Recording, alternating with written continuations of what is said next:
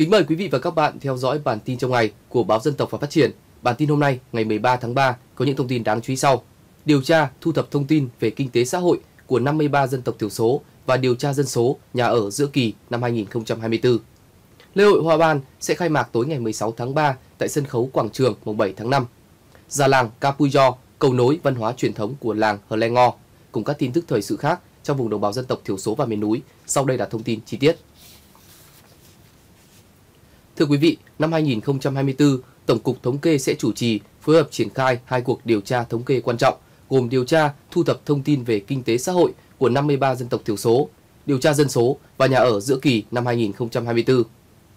Theo quyết định số 628 ngày 14 tháng 7 năm 2023 của Tổng cục Thống kê, từ 0 giờ ngày 1 tháng 7 năm 2024, cuộc điều tra thu thập thông tin về thực trạng kinh tế xã hội 53 dân tộc thiểu số năm 2024 được thực hiện tại 54 tỉnh, thành phố trực thuộc Trung ương. Thời điểm lập bảng kê từ 0 giờ ngày 1 tháng 6 năm 2024. Thời gian điều tra thực hiện bắt đầu từ ngày 1 tháng 7 đến ngày 15 tháng 8 năm 2024. Cùng với điều tra, thu thập thông tin thực trạng kinh tế xã hội 53 dân tộc thiểu số lần thứ 3 từ ngày 1 tháng 4, Tổng cục Thống kê sẽ thực hiện điều tra dân số và nhà ở giữa kỳ năm 2024.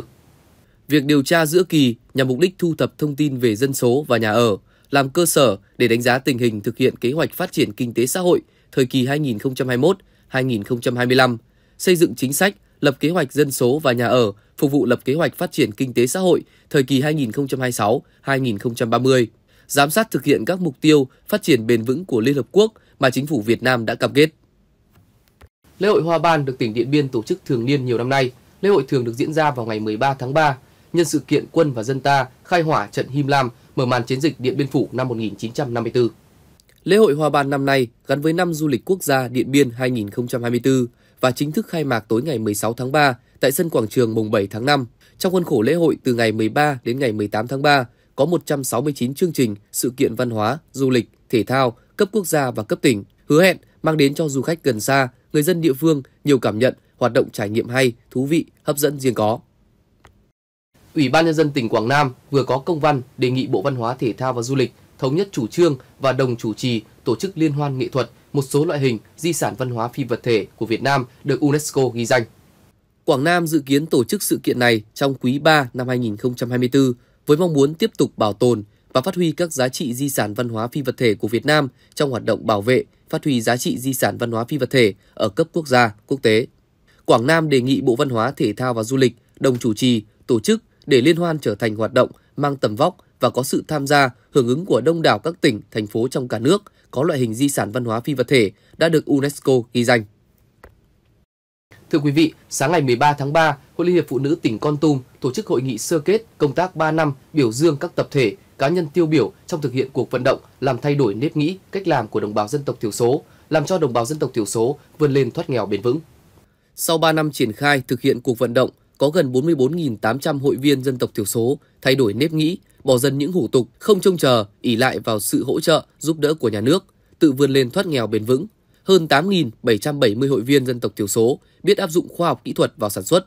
Hơn 5.700 hội viên dân tộc thiểu số có đời sống vật chất tinh thần được cải thiện. Gần 1.930 hội viên dân tộc thiểu số tham gia các tổ liên kết, tổ hợp tác, hợp tác xã, mô hình do Hội Liên hiệp Phụ nữ các cấp vận động, hỗ trợ giúp đỡ cho 1.750 hộ thoát nghèo. Nhân dịp này, Hội Liên hiệp Phụ nữ tỉnh tặng bằng khen cho 10 tập thể và 20 cá nhân có thành tích xuất sắc trong triển khai thực hiện cuộc vận động làm thay đổi nếp nghĩ, cách làm của đồng bào dân tộc thiểu số, làm cho đồng bào dân tộc thiểu số vươn lên thoát nghèo bền vững giai đoạn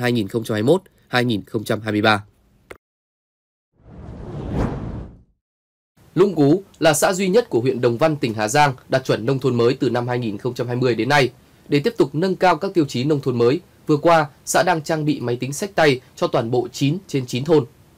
Việc xã trang bị máy tính sách tay cho thôn thể hiện sự quyết tâm về đẩy mạnh chuyển đổi số trong xây dựng nông thôn mới. Đây chính là giải pháp quan trọng để phát huy tiềm năng, lợi thế của xã về du lịch gắn với mục tiêu phát triển nông nghiệp, nông dân, nông thôn. Đây là điều kiện thuận lợi để nâng cao hiệu quả chỉ đạo, điều hành của chính quyền từ xã đến thôn, nâng cao chất lượng làm việc cho đội ngũ cán bộ thôn. Sau hơn 4 tháng triển khai, mô hình nuôi em bán chú do Hội đồng đội huyện Lắc, tỉnh Đắk Lắk thực hiện đã mang lại hiệu quả tích cực. những học sinh khó khăn tại trường trung học cơ sở Nguyễn Du, xã Đắk Nuê đã có thêm bữa cơm đầy đủ dinh dưỡng, yên tâm học hành. Mô hình được thực hiện theo hình thức phát động quyên góp tự nguyện từ các đơn vị, cán bộ, giáo viên và tổng phụ trách đội tại trường học. Hàng tháng, kinh phí quyên góp sẽ bàn giao cho giáo viên tổng phụ trách liên đội trường trung học cơ sở Nguyễn Du để thầy cô giáo linh hoạt mua thức ăn hoặc nấu cơm cho các em. Mặc dù mỗi tháng số tiền quyên góp được chỉ từ 1 đến 2 triệu đồng, đủ lo 3 đến 4 bữa ăn, nhưng đối với các em học sinh nghèo, đó là bữa cơm thịnh soạn với cơm ăn đủ no, có thịt kho, rau củ hoặc bát mì tôm vào bữa sáng có thêm quả trứng gà. Già làng Capuyo được nhiều thế hệ người làng Hờ Le Ngon, xã Iato, huyện Chư Prong, tỉnh Gia Lai yêu mến bởi ông như cầu nối, mạch nguồn văn hóa truyền thống của người Gia Rai. Ngoài Đan Lát, Già Do còn nổi tiếng là người đánh cồng chiêng giỏi và là nhà điêu khắc mặt nạ gỗ tài ba của làng. Già làng Capuyo ngày ngày âm thầm đóng góp cho việc gìn giữ các nét đẹp văn hóa truyền thống của dân tộc, đặc biệt là văn hóa cồng chiêng. Vốn là người đánh cồng chiêng giỏi, Già John đã vận động nhiều thế hệ trong làng tham gia đội cồng chiêng, tập luyện và biểu diễn trong các lễ hội. Già Jo còn nổi tiếng là người đa lát giỏi và là nhà điêu khắc mặt nạ gỗ tài ba của làng, ra động viên và hướng dẫn cho mọi người trong làng biết, yêu và học cách làm mặt nạ gỗ để nét văn hóa truyền thống không bị mai một theo thời gian.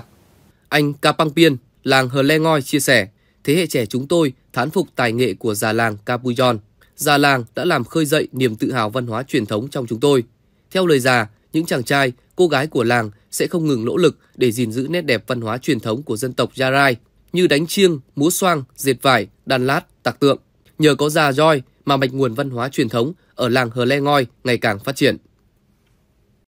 Câu chuyện về hình ảnh về già làng Capuyo ở làng Hờ Le Ngon, xã Iato, huyện Chư Prong, tỉnh Gia Lai đã kết thúc bản tin ngày hôm nay. Quý vị và các bạn có thể xem lại trên kênh YouTube, website và trang fanpage của Báo Dân tộc và Phát triển. Còn bây giờ, xin chào tạm biệt quý vị và các bạn.